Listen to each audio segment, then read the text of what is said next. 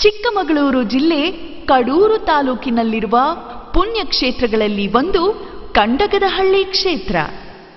ಈ ಕ್ಷೇತ್ರದಲ್ಲಿ ನೆಲೆಸಿರುವ ಶ್ರೀ ಗುರುಸೋಮೇಶ್ವರ ಸ್ವಾಮಿಯ ಮಹಿಮೆ ಅಪಾರ. ನಂಬಿ ಬರುವ ಲಕ್ಷಾಂತರ ಭಕ್ತರ ಕಷ್ಟಗಳನ್ನು ಕಳೆಯುತ್ತಿರುವ ಶ್ರೀ ಗುರುಸೋಮೇಶ್ವರ ಸ್ವಾಮಿಯ ಕೃಪೆಗೆ ಪಾತ್ರರಾದವರ ಸಂಖ್ಯೆ ಅಗಣಿತವಾದದ್ದು. ಈ ಕ್ಷೇತ್ರದಲ್ಲಿ ಸ್ವಾಮಿಗೆ ನಿತ್ಯ ಅಭಿಷೇಕ, ಬಿಲ್ವಾರ್ಚನೆ, ತ್ರಿಕಾಲ ಪೂಜೆಗಳು ನಡೆಯುತ್ತಿವೆ. ಹಾಗೂ ಈ ಕ್ಷೇತ್ರದಲ್ಲಿ ಶ್ರೀ ಬೀದಿ ಬಸವೇಶ್ವರ ಸ್ವಾಮಿಯೂ ನೆಲೆಸಿದ್ದಾನೆ. ಹಾಗೂ ಪಕ್ಕದಲ್ಲೇ ಶ್ರೀ ಚೌಡೇಶ್ವರಿ ದೇವಿಯೂ ನೆಲೆಸಿ ಭಕ್ತರ ಕಷ್ಟಗಳನ್ನು ಹಾಗೂ ಮಾಟ, ಮಂತ್ರ ಇತ್ಯಾದಿಗಳನ್ನು ಕಳೆಯುತ್ತಿದ್ದಾರೆ. ಕಂಡಗದಹಳ್ಳಿಯ ಈ ಸುಕ್ಷೇತ್ರದಲ್ಲಿ ಅನ್ನದಾಸೋಹ ಮಾಡಿಸಿದ ಭಕ್ತಾದಿಗಳಿಗೆ ಶ್ರೀ ಗುರು ಸೋಮೇಶ್ವರ ಸ್ವಾಮಿಯ ಕೃಪಾಕಟಾಕ್ಷ ಒಲಿಯುವುದು ಎಂಬ ನಂಬಿಕೆ ಇದೆ. ಶ್ರೀ ಗುರು ಸೋಮೇಶ್ವರ ಸ್ವಾಮಿಯವರ ಅಪ್ಪಣೆಯ ಮೇರೆಗೆ ಹನ್ನೆರಡು ವರ್ಷಕ್ಕೊಮ್ಮೆ ಜಾತ್ರಾ ಮಹೋತ್ಸವ ಬಹು ವಿಜೃಂಭಣೆಯಿಂದ ನಡೆಯುತ್ತದೆ. ಆ ಸಂದರ್ಭದಲ್ಲಿ ಸುತ್ತಮುತ್ತಲ ಹಳ್ಳಿಗಳ ದೇವಾನುದೇವತೆಗಳು ಆಗಮಿಸುತ್ತಾರೆ. ಕ್ಷೇತ್ರದ ಅಭಿವೃದ್ಧಿಗಾಗಿ ಶ್ರೀ ಗುರುಸೋಮೇಶ್ವರ ಭಕ್ತ ಮಂಡಳಿ, ಕಂಡಗದ ಹಳ್ಳಿ ಹಾಗೂ ಸುತ್ತಮುತ್ತಲ ಹಳ್ಳಿಯ ಭಕ್ತಾದಿಗಳು ಮತ್ತು ಧರ್ಮದರ್ಶಿಗಳಾದ ಕೆಎಸ್ ಬಸಪ್ಪನವರು ಹಗಲಿರುಳು ಶ್ರಮಿಸುತ್ತಿದ್ದಾರೆ.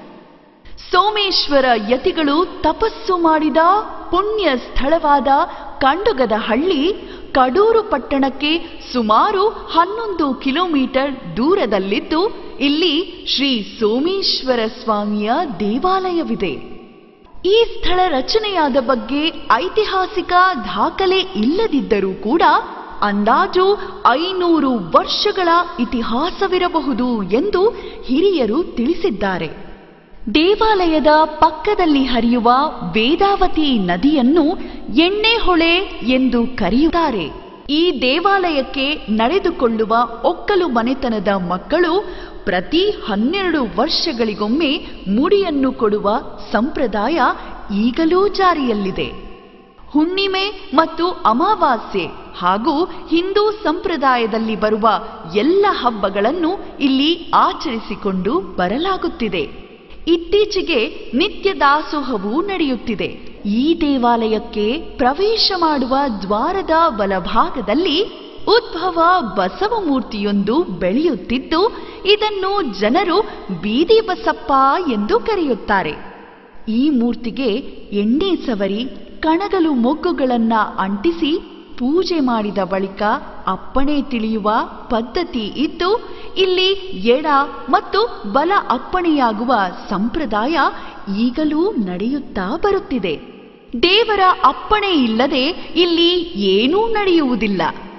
ಹನ್ನೆರಡು ವರ್ಷಗಳ ಜಾತ್ರಾ ಸಮಯದಲ್ಲಿಯೂ ಕೂಡ ಒಕ್ಕಲು ಮನೆತನದವರು ಹಾಗೂ ಭಕ್ತರು ಒಡಗೂಡಿ ಒಂದೆಡೆ ಸೇರಿ ದೇವರ ಆಣತಿಯಂತೆ ತೀರ್ಮಾನ ತೆಗೆದುಕೊಂಡು ಜಾತ್ರೆಯನ್ನು ನಡೆಸುತ್ತಾರೆ. ದಿನದಿಂದ ದಿನಕ್ಕೆ ದೇವಾಲಯ ಅಭಿವೃದ್ಧಿ ಹೊಂದುತ್ತಿದ್ದು, ಇದೀಗ ಗೋಪುರ ಮತ್ತಿತರ ಅಭಿವೃದ್ಧಿ ಕಾರ್ಯಗಳನ್ನೂ ಕಂಡಿದ್ದು, ಇನ್ನು ಈ ಪುಣ್ಯಕ್ಷೇತ್ರ ದೊಡ್ಡ ಮಟ್ಟಕ್ಕೆ ಬೆಳೆಯುತ್ತದೆ ಎಂಬುವ ನಿರೀಕ್ಷೆ ಭಕ್ತರ ಆತ್ಮವಿಶ್ವಾಸದ ಮಾತುಗಳಲ್ಲಿದೆ.